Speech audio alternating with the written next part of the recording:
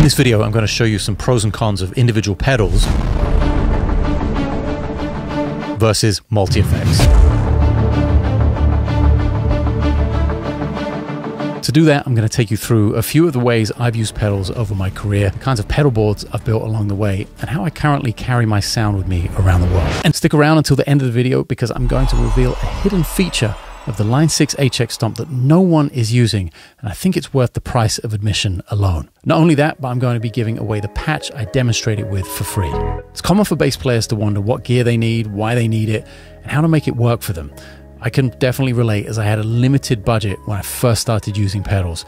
And on tour with Jojo Mayer early in my career, most of the pedals on my board were actually his. I owned an OC2, but he had to lend me the money for a Moogerfooger low pass filter and take it out of my first paycheck.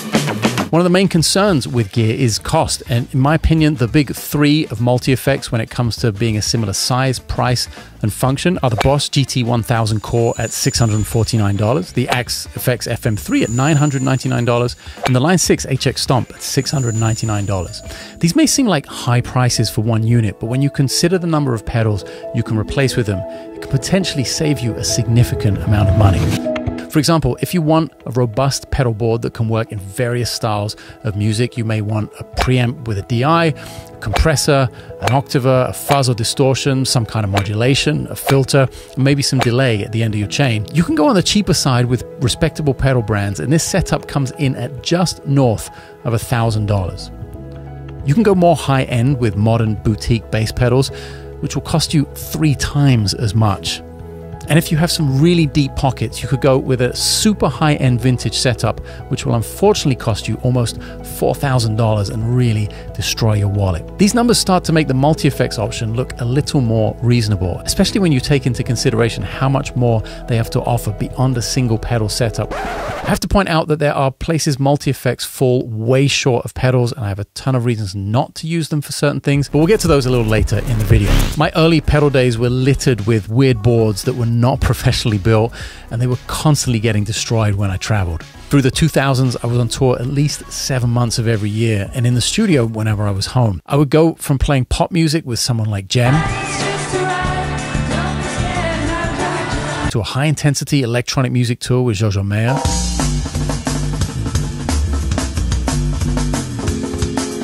And then find myself in the studio cutting a record with someone like Mike Stern.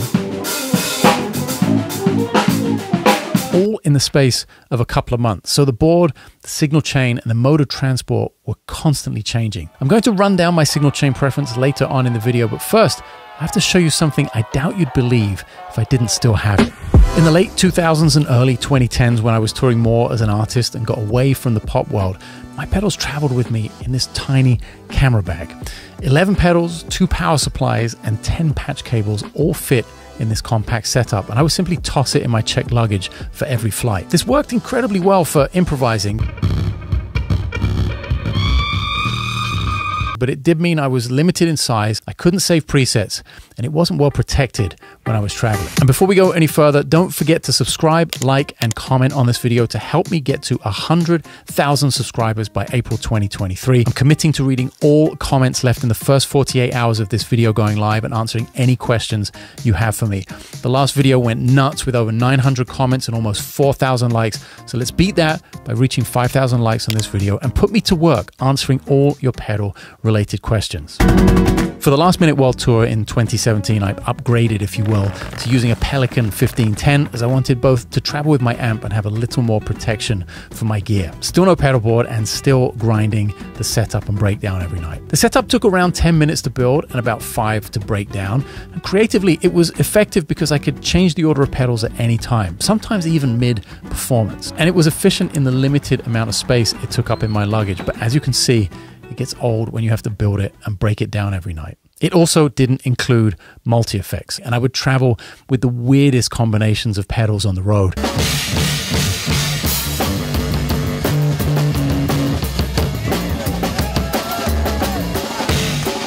And the worst part about it was that when I found something that worked, I wasn't able to make it repeatable and easily accessible again in the future, especially not in any kind of compact form.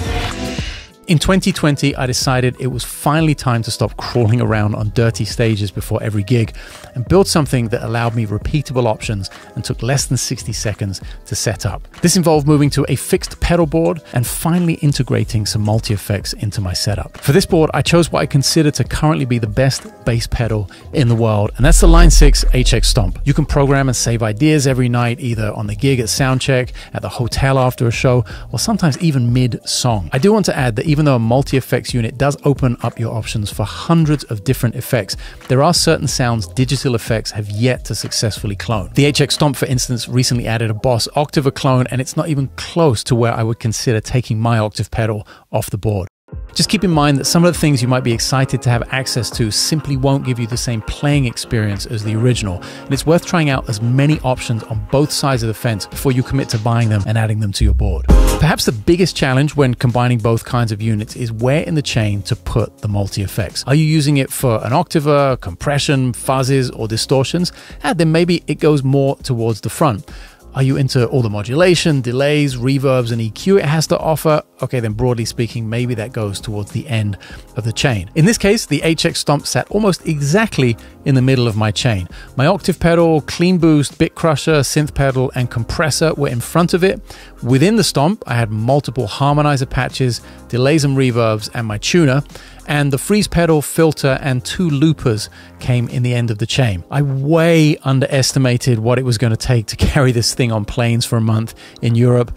I made the board far too heavy and I totally destroyed my shoulder. I thought about nothing but wheels that entire tour. The Pedaltrain also had its limitations for what I needed. The next step was to get my hands on some Vertex pedal boards with the hinged risers and expand the power capabilities with the Cioks DC7 and the Cioks 4. As a result of this more robust platform, the board now included not one but two multi effects units with the bigger HX Stomp XL and the Eventide H9 Max. Sadly, due to its size, this board was never going to make it on the the road, but it was a very cool step towards finding what worked and what didn't. We're talking a lot here about the combination of pedals and multi effects, but where does one make more sense than the other?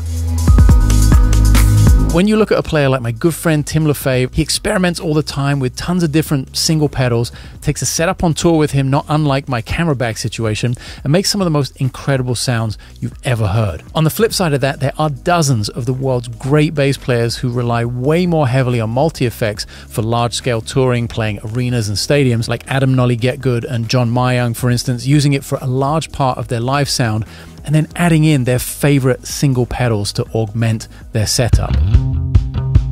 Just like the over the top board I built myself in 2021 for gigging locally, I went four times over the top when I went to the studio to record a new album last year.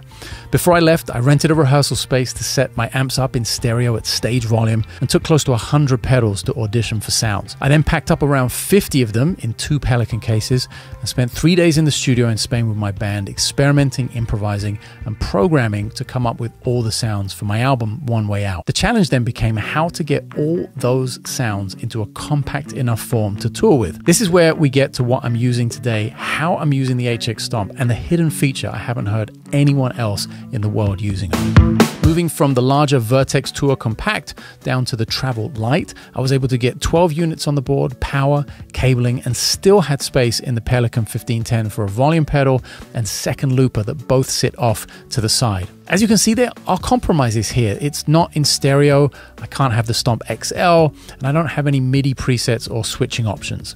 But it still creates a huge sound, and the board takes less than 60 seconds to set up. Now, here's the hidden feature in the HX Stomp that formed the basis of a couple of songs on my last album, and something I used to improvise all the time. We're basically going to turn the HX Stomp into a modular synth with a sequencer and create loops and huge sounding tracks without touching a single string of the bass. Using tone generator blocks, I'm able to assign pitches to momentary switches that allow me to decide how long I want a note to last. I can program different waveforms for these notes, put them in different octaves, and even spread them out to make chords. Then, using the shuffling looper, I'm able to capture a slice of that sound and create a sequence. This can be something that stays fairly static, or it can be programmed to morph over time.